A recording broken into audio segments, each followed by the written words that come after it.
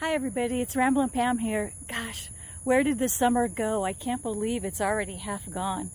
Here's a little update on what we've been up to.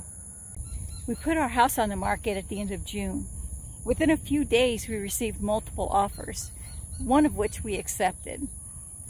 We moved our RV to storage and we were making weekly trips to Arizona to drop off boxes and other things ahead of the move. It's a 67 hour drive from California to Arizona pulling the cargo trailer. In hindsight, we should have just had the movers move everything, but you live and learn. This is the day that the movers showed up to move us. They had a whole crew. It was pretty impressive. Then two of the movers, they drove all the way from California and met us in Scottsdale the next morning. Then they unloaded the whole truck and uh, took everything in the house for us and that was great. We're still getting all settled in here. Hopefully we'll be all unpacked pretty soon. I had uh, pared down a lot of things before we moved.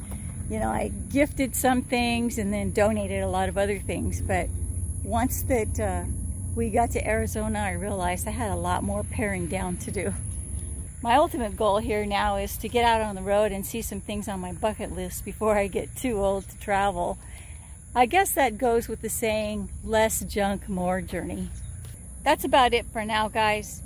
I'm going to keep you posted as it gets uh, closer to some of our trips that we're going to take and let you know where we're going to be headed. We'll catch up with you later. Bye.